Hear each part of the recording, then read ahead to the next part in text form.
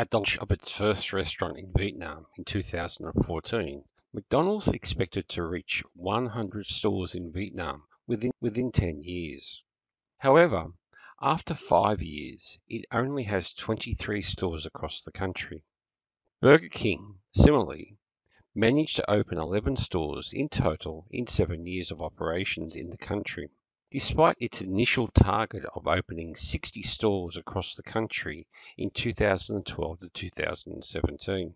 According to market research company Kantar Worldpanel, Western fast food simply does not suit the palates of the majority of Asian people. However, the two global fast food giants are operating successfully in Japan and China, both of which are famous for their traditional cuisines. Burger King opened 700 stores in China as at 2016 and has 98 outlets in Japan currently. McDonald's also has 2,500 stores in China and 2,975 stores in Japan. So, what's the problem in Vietnam?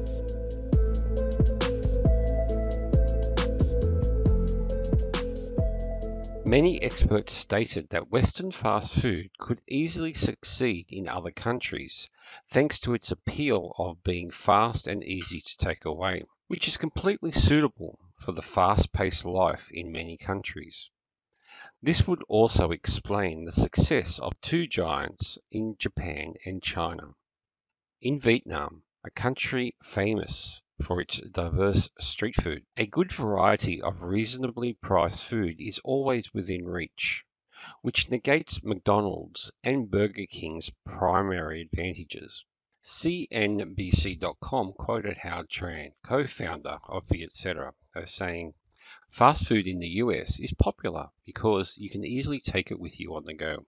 In Vietnam, if you need the same thing, you can go to the street vendors to get a bowl of pho or banh mi. It's faster than McDonald's, so their speed has no value in Vietnam.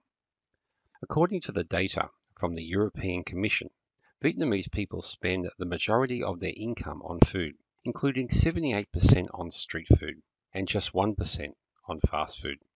Vietnam has an estimated 540,000 food stores, including 430,000 street vendors. 80,000 restaurants, 22,000 cafes and bars, and only 7,000 fast food stores.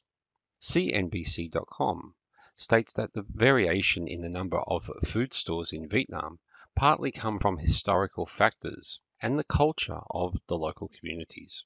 Since KFC opened its first store in Ho Chi Minh City in 1997, fast food brands have started to appear across the country mainly in the cities and locations frequented by foreigners. However, Vietnam had already developed a solid street food business, and this posed a unique challenge for Western food vendors entering the market. Many sellers offered very cheap and tasty food because many food stores were private houses where they used the upper floors as living space and sell food on the ground floor.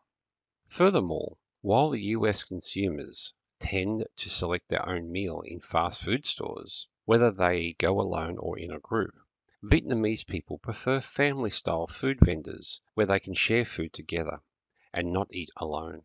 Therefore, dishes that can be shared are more culturally compatible with Vietnamese consumers and continue to be the preference of Vietnamese consumers even though fast food vendors are now across the country.